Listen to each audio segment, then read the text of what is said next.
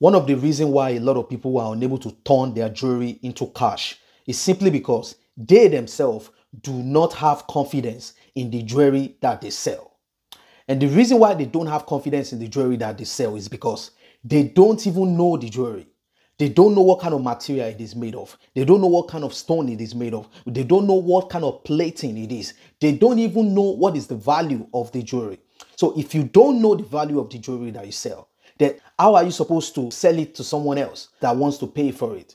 This is the reason why a lot of people have cartons of jewelry sitting down in their bedroom and they are unable to turn it into cash. If you understand the value of the jewelry that you sell, you will be able to turn it into cash. And if identifying jewelry or sourcing jewelry is one of the things that you struggle with, that is one of the things that I teach in my program, Insta Jeweler.